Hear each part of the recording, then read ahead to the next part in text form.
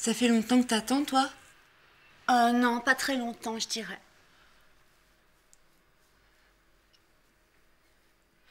Je suis un peu stressée, moi. J'ai pas très très bien appris le texte et puis. euh, je suis pas très bien épile et je suis pas nette nette, tu vois. Ça, ça m'embête un petit peu. Je... J'ai pas l'impression d'être au top de mes capacités. Ça me. Ça m'angoisse un peu.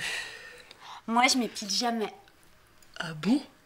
Ben non, parce qu'en fait, tu vois, euh, j'ai été élevée par une mère féministe, tu vois, qui m'a toujours enseigné que, en fait, euh, les femmes euh, ne s'épilaient que pour faire plaisir aux hommes, que, en fait, c'était une forme d'aliénation.